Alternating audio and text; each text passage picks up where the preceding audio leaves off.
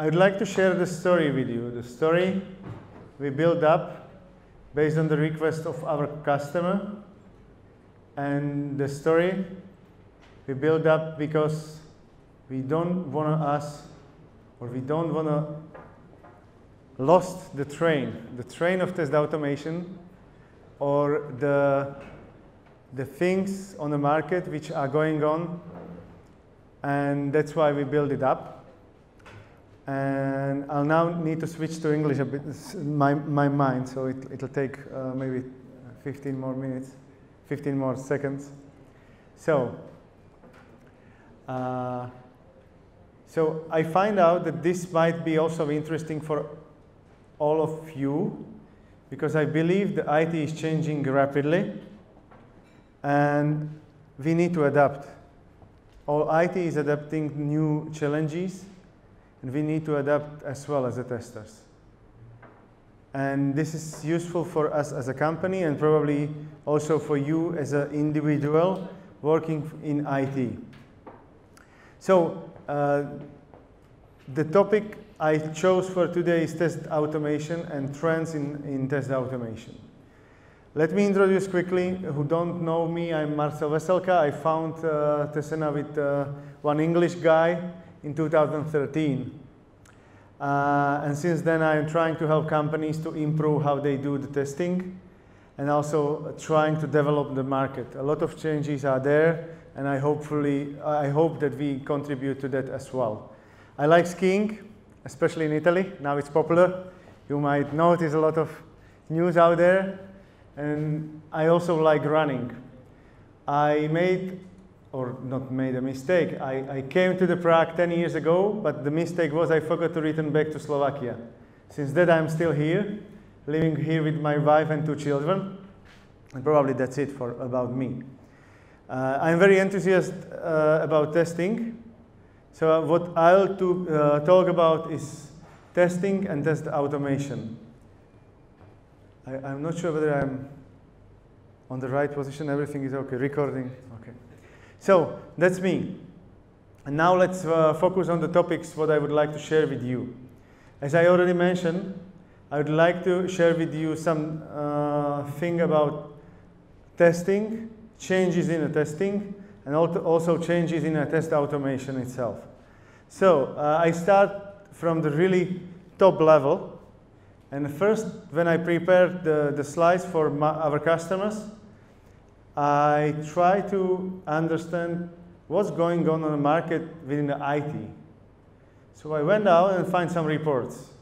The reports, of course, where you go when you're searching for some reports and surveys and data and some analytics and some predictions, you go out there for the Gartner report. So I went there and I find out that companies last year spent 3.7 trillion US dollars in IT. 3.7 trillions. You know how much money is it? I don't. I can't imagine what the number mean. I, I can't understand how much money is it. So I was thinking about how we could easily interpret the number. So I said, okay, what are the other budgets like in Czech Republic? How much we spend in Czech Republic? How much we spend in Slovakia? And I took the third one, Austria, because these are the markets where we operate. And I was trying to calculate how much money we spend or how quickly we need to spend within these countries to get rid of all the money which were spent in 2019 in IT. And this is what I found out. In Slovakia, Slovakia could live out of the money 85 years. 85 years. One generation could live out of the money. What we spend in IT. For Czech Republic is a bit less, and for Austria less as expected maybe, but this is one generation could live out of the money in IT. But why I'm talking about it? Why these numbers might be interesting. There is other fact coming out from the survey companies are changing where they focus, where they invest. They are moving from hardware investments into software. Now, IT software. Software is IT. There is no hardware. There is, of course. But the number of money people spend on hardware are smaller and smaller. Uh, and one more topic regarding the expenditures and trends in IT. This is slide I grabbed from the presentation uh, from Tesena Fest we host last week in Vienna. This guy was talking about completely something else about security uh, and inbuilt security testing in uh, DevOps. But these are the numbers, already four or five years old. How much deployment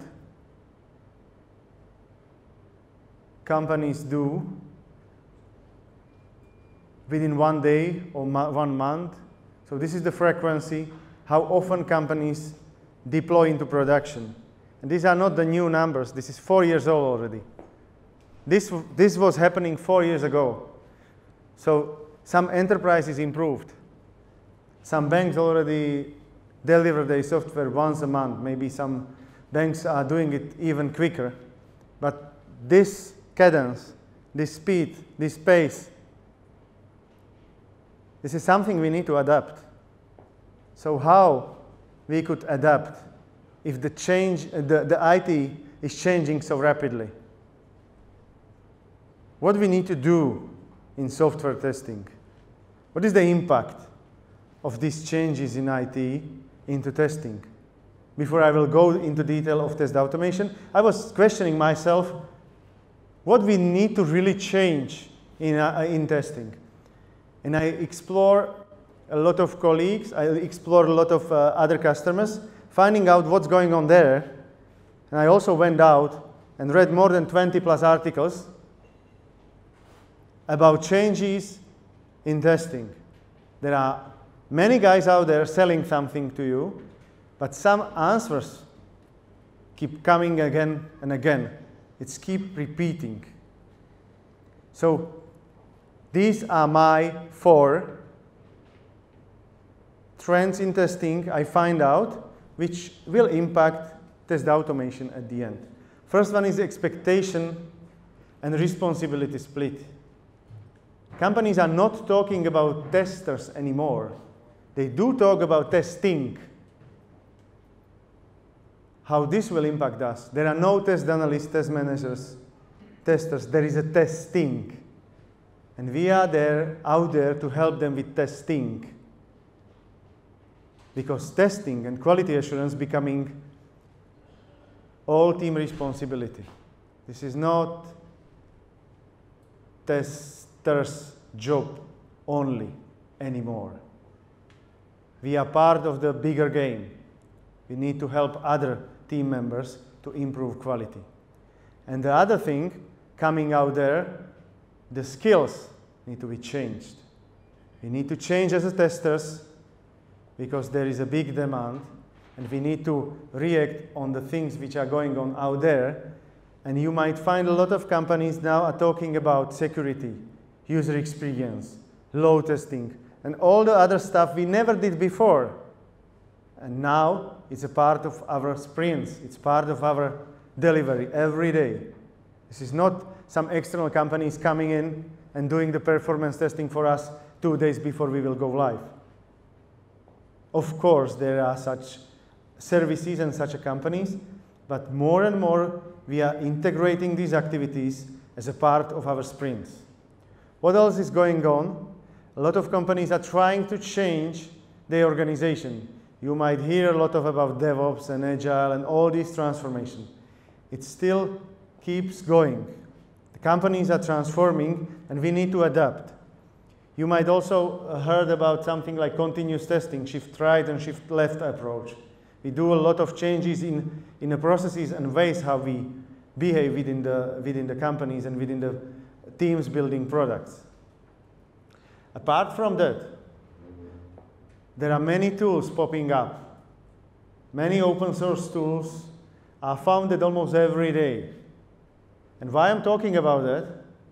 Because it's important to think about how will impact this us. It's not anymore learn one tool and earn from that for next five, ten years. The market is changing. A lot of new tools which one I should focus on, how I should cope with that on one side. On the other side, the big players are trying to eat up the small startups with some potentials because they are trying to proper, uh, offer them end-to-end solutions. They are trying to offer them from the beginning until end one single solution. And I brought a few examples. One, which I didn't put on the slide, you might know Atlassian, the company offering Jira, Bamboo, or Confluence. These are the tools. Uh, I would expect that's it, what they have, nothing else. But they spent 1 billion US dollars in their acquisitions, and they acquired more than 20 companies already. Could you imagine that, how the market is moving? And it's not outside the testing, it's within the testing as well. I took just two, you might know, one is Tricentis, named as a bigger or best automation tool vendor by Gartner, or Smart Bear, well, uh, Smart Bear, well known uh, because of SOAP UI. They are eating the smaller players to offer end-to-end -end solutions, and they are trying to be bigger and bigger. So this is what's going on on the market. And then, of course, there are a lot of ideas like not evolution, like revolutionary ideas. Jennifer will talk uh, soon about AI and machine learning. This is one thing, once it will happen, and there are some predictions that it will happen this year, it will completely change how we deal with the testing. The other topic there is RPA. It's basically test automation in production, and a lot of other ideas. I call them buzzwords and I didn't take, uh, I didn't go, I didn't go too much into detail in my preparation because I am not sure whether this will survive. Some ideas, even on my slides I, where I go into more details, might not be the right one. They might die as we go, but these are the trends. This is where the market is going. And this, it's important to understand what's going on out there because this might also impact your daily job as well. So summing it up, summing it up these are the four my trends. You might have a different one because if you go out, there is a lot of discussion about it. And this is what I saw as a keep repeating or interesting and where I believe that there might be some potential in the future and these ideas might survive and win over the others. So this is my four. But if you simplify, what are these ideas about? Everyone is trying to search the way to make it cheaper, quicker, and better. And I feel that this is exactly where the test automation could help. Because test automation is trying to target all these challenges and help us to improve what we do. So that's why I built the test automation trends, or trends in test automation. And again, I was lucky enough to find, uh, okay, I'll, I'll, come to that, uh, find four areas. But before that, if you go out and look on the numbers before we will go to, the actual trends, I would like to share some numbers with you. If you go out to the ISTQB, it's pretty old, it's two, uh, two year old, they are saying test automation will be the trendy topic. If you go there again, there is some new report. They are saying not test automation anymore, test automation plus AI and machine learning. So it's changing, and we will come to that uh, soon. If you go to some other report, I'll just quickly skip this one. These are the areas where you could focus your automation because probably there will be most efficient areas. If you go to some other report from Google, for example, they are saying if you find the DevOps team which meet some certain criteria, they call them elite teams, they do only test 10% uh, of that testing activities manually, but not in future. Now, it's, I think it, the report is two years old. So this is something which going on on the market, and I didn't like it. When I saw it first time, I said, this need to be some stupid idea. What are you trying to sell me? 10% manually? No It's impossible. So what I did, I, I was trying to dig into data more and more and searching for some more data. So I have a few more data, and then I promise I will go into the, the content of, of, test automa- uh, of trends of test automation. So what are the other data? Some other report. In next five years, automation will more than double. Then I was going out again and trying to find some more data. And I find out that if the automation will double in, uh, in four, five years, then uh, I would like to compare with the overall investment in, uh, in testing. And I find out that probably, if the predictions are right, in 2024 there will be more automation than manual testing. This, these are some predictions, might be wrong, but I would guess that at least the direction is right, because we are talking here about the trends. Some people might ask me when it will happen. I don't know. These are the trends. This is the direction where the market is moving. It might happen in next year. It might never happen because it will die as we go. But these are the trends. So if this is true, I was still not happy with the numbers, so I go one more deep, uh, deep dive. And I took some other report from KPMG, you might know the company uh, dealing with some executive uh, advisory and executive uh, management advices. And, and they re- uh, this report, I don't know, it might be also one or two years old. And if you take the extremes, 5% of companies saying we don't do automation at all. And the other extreme is it's about 18%. They are saying we do more than 75% of automation. This is one quarter of the overall audience which was asked, or the companies which was asked. And there, there, there are three more quarters, and each is, I would say, equally spread or equally uh, big. So these are the numbers. But let's skip the numbers and now going to the, the trends. What's going on? What, where the companies will invest if they will invest as the predictions are saying. First one, I call them old ideas are coming back. Second one, execution and maintenance assistance. Companies are not discussing anymore whether this is worth to automate or not, or where to start, or which tool to use, but how to keep up with the size of the automation they are doing, how to maintain them, and how to scale up. This is the second trend or second challenge companies are dealing with. The other one, or the third one, is AI and machine learning. Jennifer will talk more about it. And then the, I call it other bus. This is basically the list of the, all the other ideas where I feel there might be some potential and a huge impact on the market.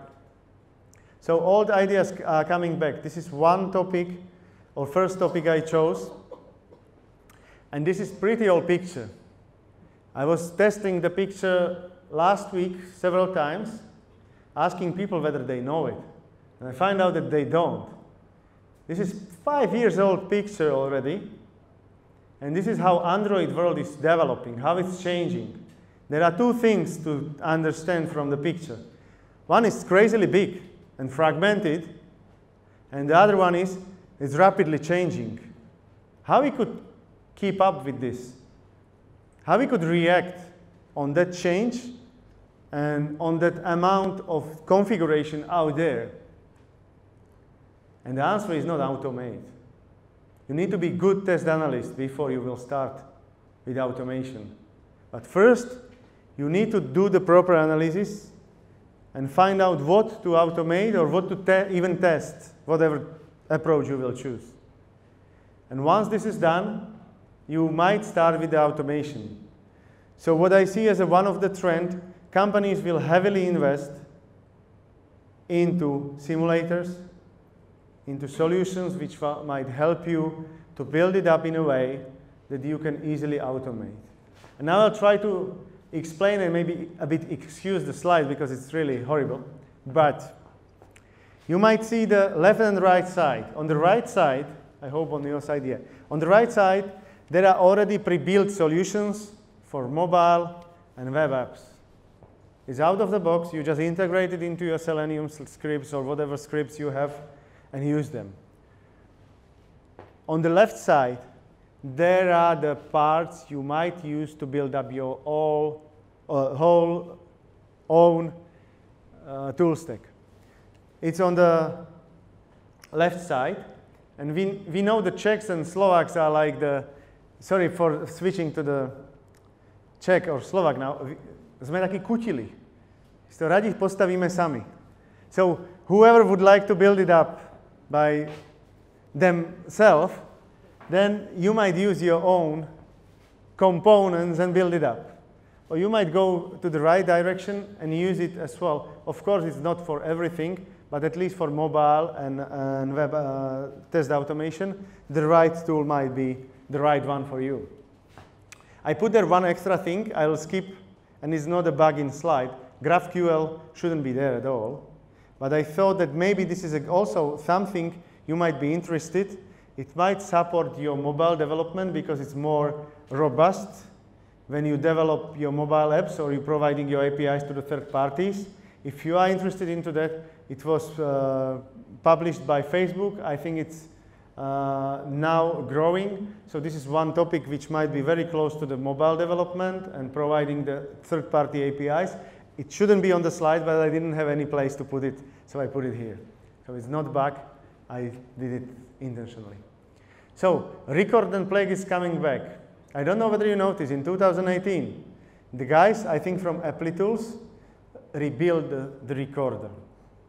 And people, when I'm talking about that, always laughing or looking at me, yeah, yeah, you are the crazy guy, record and play. We heard a lot about that.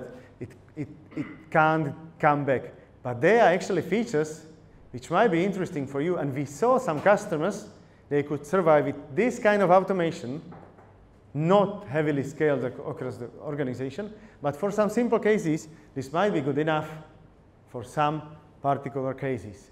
The other example is more uh, commercial tool. It's called Parasoft Selenic. You might heard about. And this is something very similar.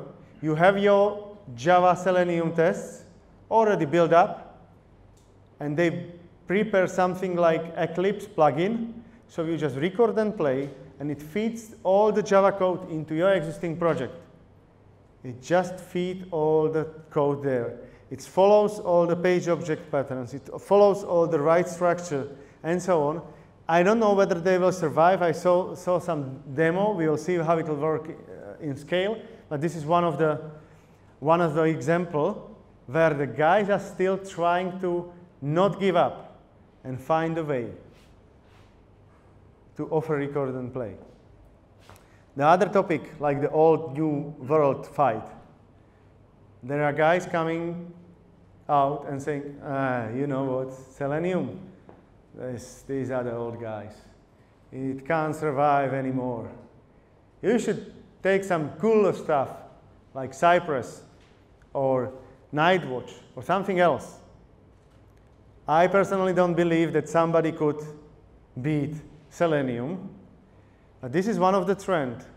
People are starting questioning whether Selenium could survive even further. Remember my trend in testing number three? Big players are eating small one. Tools are popping up and disappear. Selenium is still there. Jennifer was talking today about Appium, that they are here since 2011. So Selenium, I don't know, maybe a few years uh, before. 20 years old. 20? No. Yeah. Okay, the task for the, for the break, if you could Google it, when they found the Selenium, I would, I would be really wonder. But there are a lot of discussion whether Selenium era is over or not. So these are the all things keep discussing and trying to develop. Execution and maintenance. You, okay, I, I put there just three, which are basically two. It depends how you structure them. But first one is uh, intelli intelligent test execution. Intelligent ex test execution is the approach to reduce speed and be more uh, targeted in your testing. I was trying to draw some picture which might be self-explanatory, but I'll try to explain. When I was starting with test automation, we did a lot of like executed by double click on your desktop. Then, when, then once we were get bored out of it, we try to schedule it. And then we integrate it into some CI/CD. So this was our journey in triggers in test execution. On the other hand, there was some scope selection. And the, the first challenge when you scale your automation, it takes too long. It's too slow. You don't want to bother so many past. You are interested on, only on a failed test because you really want to fix them. So then you need to select the scope. And the first one was if the full scope wouldn't work, we select them manually by tagging the tests, by tagging and saying, okay, this is the smoke test, or this is the module test, or this is particular test set for this particular module. And then we, the next stage is dynamically select.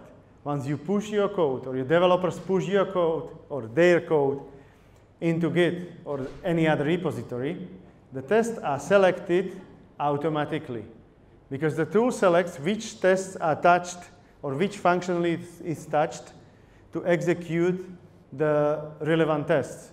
And this is, this is it. This is what the companies are trying to implement and call it test execution intelligence or intelligent test execution. These are trends.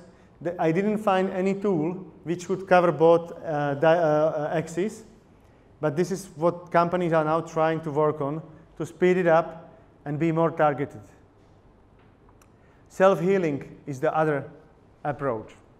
Self-healing is the approach when, when the tests are trying to fix themselves as they go, as, as they are executed. I try to describe four levels of self-healing maturity or levels of, uh, uh, of, of the self-healing tests. And I'll I, I won't go too much into details. I'll try to just explain very quickly. First stage is pretty stupid and simple and is implemented in Selenium IDE.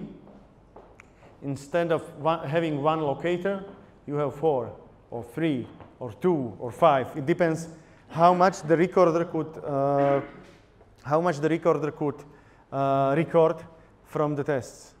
So you just getting the, the, the, these selectors, and when it fails, it try the other one, and when it fails, it try the other one, and so on. And it's a stupid idea because the maintenance is anyhow difficult. It might help you a bit in test execution. That's why the AI and machine learning come into play. And instead of record and play all these strange locators, you rather do it visually. Or you might have, and uh, I think uh, Pingla colleagues will also show that uh, Jeremy stuff. Yes. So you might record or save the whole DOM, like the object of the page, and try to find the other way to do it, but it's dynamic. It's not like I remember just three, these three or these two. So these are the uh, second stage or the second level of maturity in self-healing. And then once you have this, so you can dynamically locate the, the position or the, your elements, you might go even further and advance your reports, your analytics, to help you identify whether these failures or these warnings are relevant one and how to cope with them. You might need to know whether this is an application failure or it's your script failure and so on. And once you have these analytics, you go even further and you let the machine fix the code. So you, use, you would say, okay, if you have 80% confidence, just fix the Java code for me. I don't want to bother with that. So this is the self-healing. Company, companies are heavily working on it. Somebody might skip the self-healing feature at all by implementing AI and machine learning, but this is the way how some companies are trying to cope with the maintenance because this is the other trouble. So within my second area, this is intelligent test execution and self-healing. So how to maintain and execute the code in an efficient way.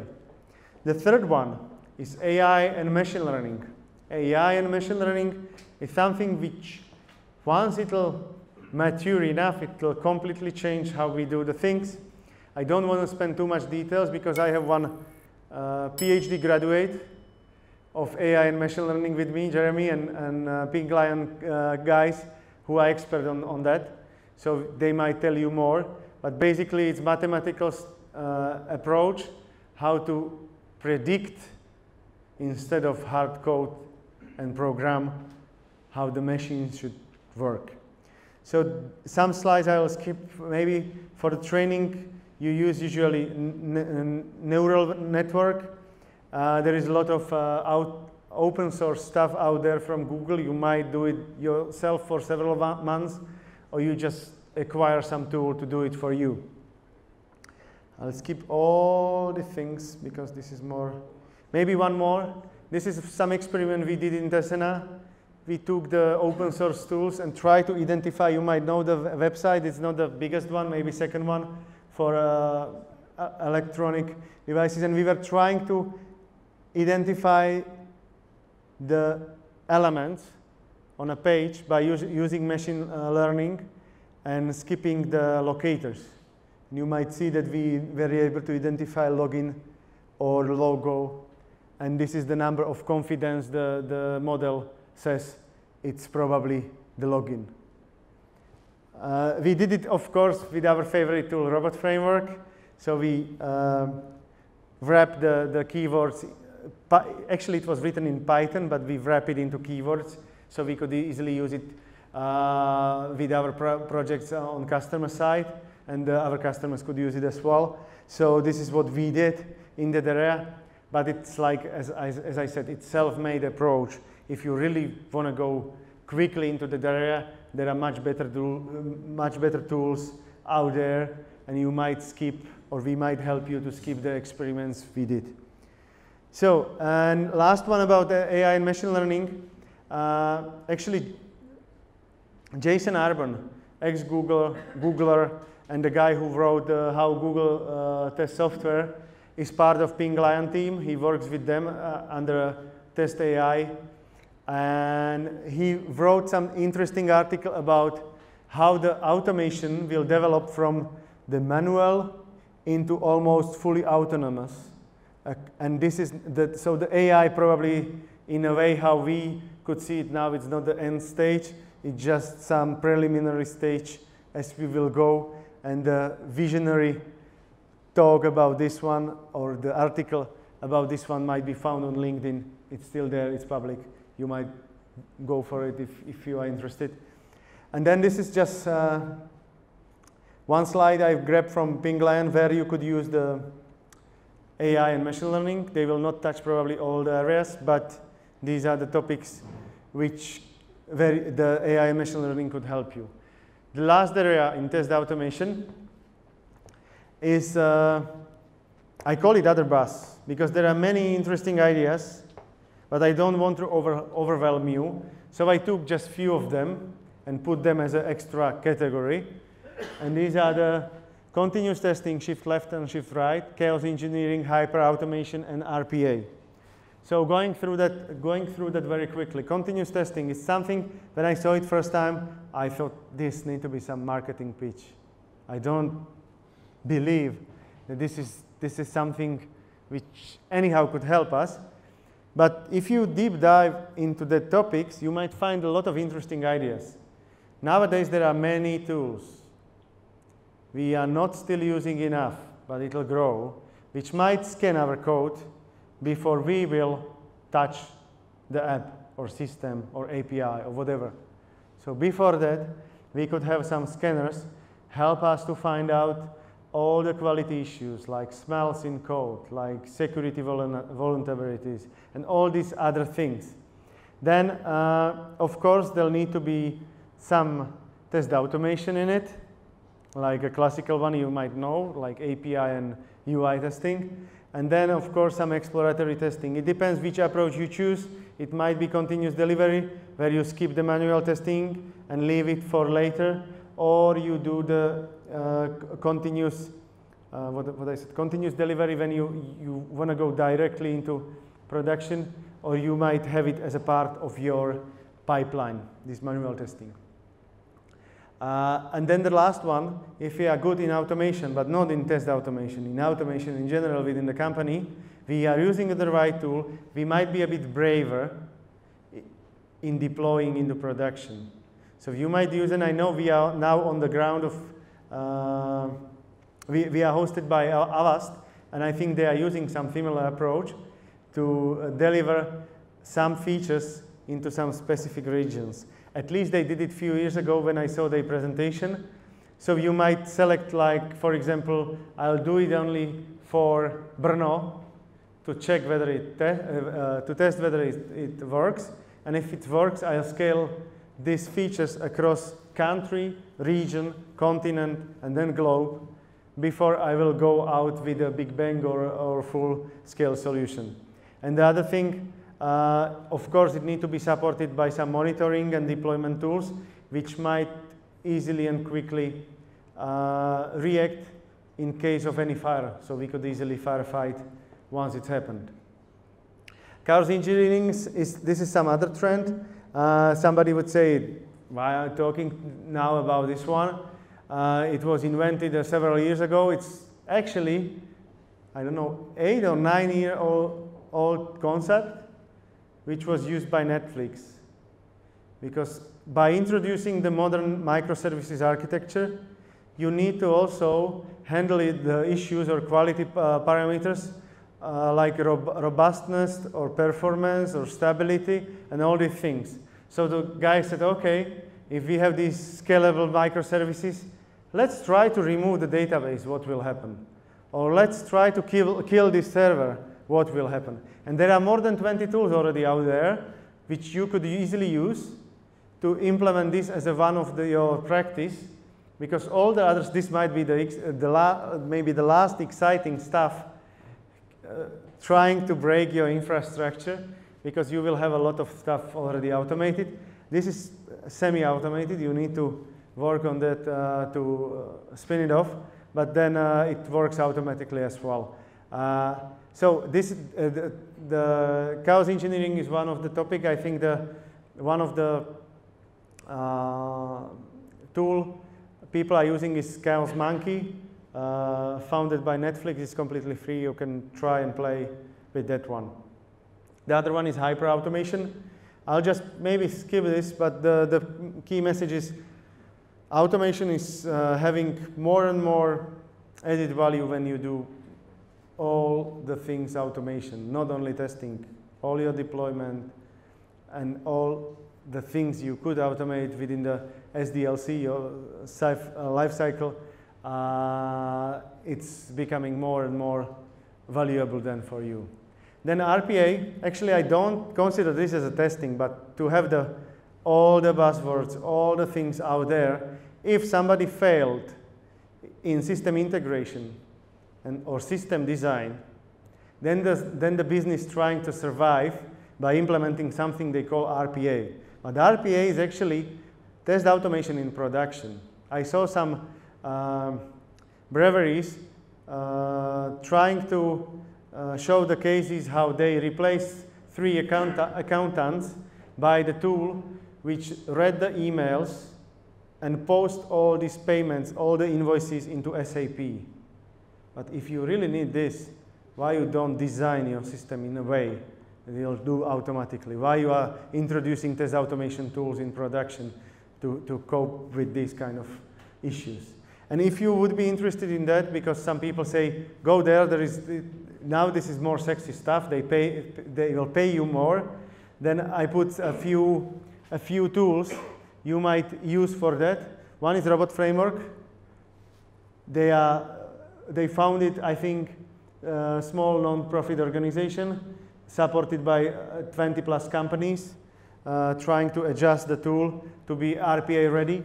Then is, there is Blue Prism and UiPath, which are the big players, which are coming from uh, RPA uh, world and trying to get to the uh, testing. And then Tricentis RPA Studio, which is basically wrapped uh, Tosca, you might know. It's just rebranded, and maybe they brought some nicer UI, and they are trying to succeed in RPA world as well. So these are the the tools, if you would like to go into RPA more details, there is a lot of uh, stuff out there. I think Tosca is also providing some free certification for RPA, so if you would be interested, uh, you might go there and have some certificates. We also partnering with them because we believe these are the big guys out there on the market, so this might help us also to be efficient when we uh, delivering some other services to our customers. So this is not only one tool, but one of the tools we are using. So uh, these were my four trends. And why I was talking about these four trends, because I believe with this pace, with this speed in IT, if we are not able to keep up, if we are not able to understand what's going on out there, somebody else will do. So I believe whatever you are running the company or you are working for some team, if you want to succeed, you should watch out because there is a lot going on out there. And these are the things I believe have some potential and might impact what we do and how we do that. So these are my four outcomes from my research or from my, from my studying the market exercise. So that's it from me. I hope I'm not overrunning too much. And I would like to thank you all for coming. I hope you found some ideas you never heard before. If you do, come to me as, uh, and we could talk because you are the guy I would like to follow. Because you, you probably know something more I should learn. So thank you very much. And this is not over yet. I would like to uh, have some game with you. And I would like to play something with you before I will disappear. We are organizing two more interesting mini conferences or micro conferences. One is actually in Brno. We lost the keynote speaker last week, so that's why I put just some pictures over there. We will need to search for new keynote. But for the Prague, if you don't know this guy, come to me again because this is really like a star in testing. Michael Bolton is coming. Some people are saying, hey, I know, I know, this is the singer. This is not the singer. This is, this is guy uh, from the testing world, and you should know him. He will be here in November. And I something bring with me because you came today to learn something new. So you probably will be happy to learn even more in November or in May again. So I would like to give you this QR code. And if you scan it, I hope everybody has the app, especially for Android guys, because Apple has it automatically. It's part of the camera. If you could scan it and fill out the form behind the QR code, by probably end of Jennifer's talk, I'll give you one free ticket for Tesena Fest in Brno or Prague. You might choose which one you want. Yeah, beeping. It works. Test it. so uh, this is what I, I, would like to give away one free ticket for uh, for uh, for Tesena Fest. And there, are, there is only one rule. I will decide who will have it. I will probably randomly choose but yeah, I will randomly choose, not probably. I'll randomly choose one of you who could join us and learn something more in Brno or in uh, Prague, in May or in November. So now that's it. That's really it from me. And thank you again.